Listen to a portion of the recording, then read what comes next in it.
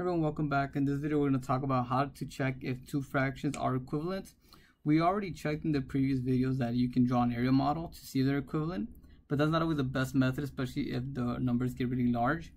Another thing that we saw is that we can see if they were if the numerator and denominator were multiplied or divided by the same number.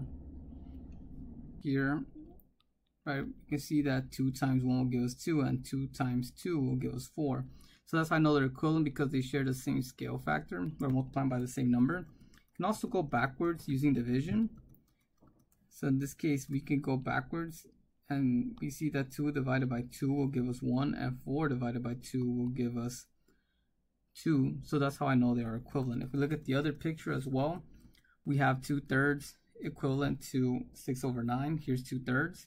Here's 6 over 9. You can see they have the same area. But I can multiply 2 times 3 and will give me 6 and 3 times 3 will give me 9 so that's how I know they're equivalent and also I can divide and go from this direction from the right to the left now the next method that we're going to use is called cross multiplication. Now cross multiplication is used with proportions. Multiplication used with proportions. It has a lot of other uses. We'll see other videos where you can use this technique. But for this case, it's just going to be useful. It is very useful when you have a fraction equals a fraction. In this case, we have a proportion here, right? Proportion means fractions equals a fractions or two equivalent fractions. You can only use this technique if you have equivalent fractions or again, a fraction equal to another fraction. And I'll bring that up later on as well.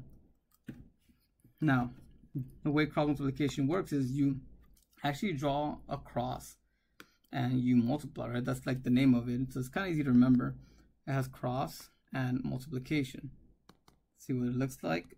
Again, this is just a technique to check if they are equivalent. What they're asking you to do is to see if they're equivalent. So you still have to answer the question, are they equivalent, yes or no. This is just a technique to check if they're equivalent.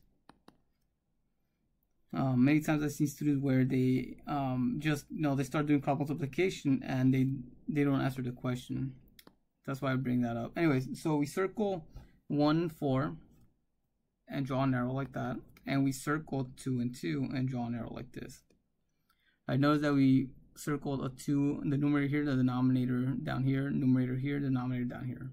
The things that you circle are the things that you're going to multiply. So in this case, I'm going to multiply 2 times 2. On the left side, I'm going to multiply 1 times 4. I'm going to bring down that equal sign.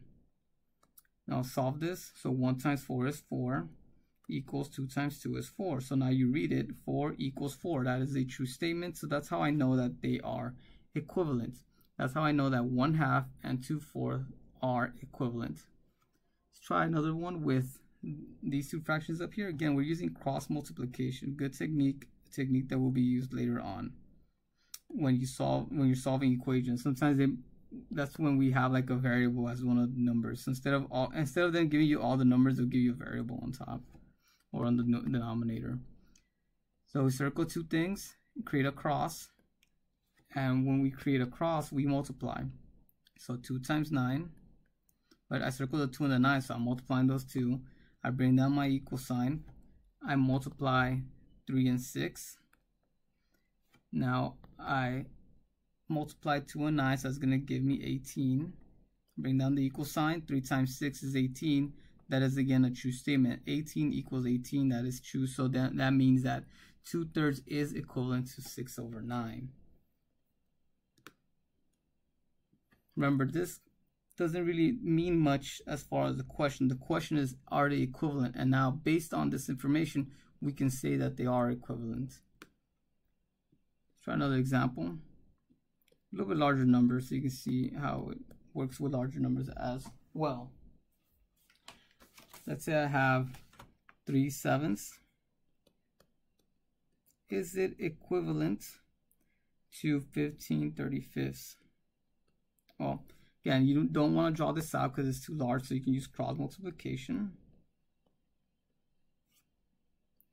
You create a cross and you multiply. So on this side, 7 times 15. Bring down the equal sign On the other side, 3 times 35. 3 times 35. Multiply those numbers, so this will be 105 equals 105. So this statement says 105 equals 105. That is true. So yes, 3 sevenths equals 15 35ths, or they are equivalent, they are proportional, or they are equal. Again, three things you can say. They are equivalent, they are equal, or they are proportional, or they are a proportion. One final example. You're going to see one where it actually fails. 1 half is that equivalent to 3 fifths.